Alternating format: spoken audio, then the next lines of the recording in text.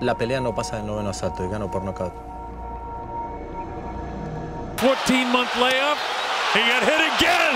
he's- and he's staggered. He's hurt again. Down. And down he goes for the Miguel Cotto contra Sergio Martínez. El Maravilla Martínez era el campeón mundial medio CMB y hacía su segunda defensa. Dijo que le iba a dar mucho gusto retirar a Miguel Cotto, quien de sus últimas tres peleas había perdido dos, ante Floyd Mayweather y ante Austin Trout. A la hora de la pelea, la agresividad, el poder, la precisión y la táctica de Cotto se hicieron sentir desde el primer round, en el que mandó tres veces a la lona al Maravilla, entre combinaciones, golpes de poder, empujones y tropezones, pero todas contaron. Del segundo round en adelante, todo fue un martirio para Martínez, quien conforme avanzaban los rounds, su ofensiva era muy pobre, su defensiva muy vulnerable y sus desplazamientos sobre el ring muy torpes.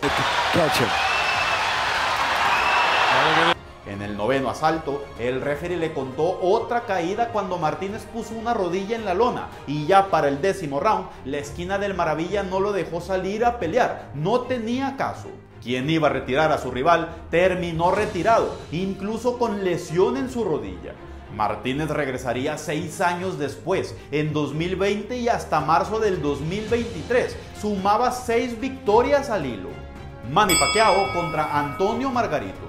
En los días previos al duelo, Margarito se burló de la condición del mal de Parkinson de Freddy Roach, entrenador de Manny Pacquiao.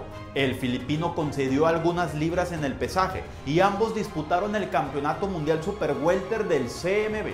Desde el primer round, la velocidad, la precisión y el volumen de golpes hicieron daño a Margarito, quien lo único que podía hacer era defenderse. En cuanto abría las manos para atacar, recibía una andanada de golpes y la rapidez del Pac-Man para atacar y defender era demasiada. Conforme fue avanzando la pelea, el dominio de Pacquiao era abrumador y el rostro de Margarito cada vez lucía más inflamado. Ya para el décimo asalto, el ojo derecho de Antonio Margarito estaba prácticamente cerrado y para el undécimo vino la máxima humillación que un boxeador le puede hacer a su rival, pedirle al árbitro que pare la pelea porque ya no lo quiere lastimar. La decisión unánime a favor de Pacquiao fue mero formulismo. 120 a 108, 119 a 109. Por alguna extraña razón un juez vio ganar dos rounds a Margarito y anotó 118 a 110.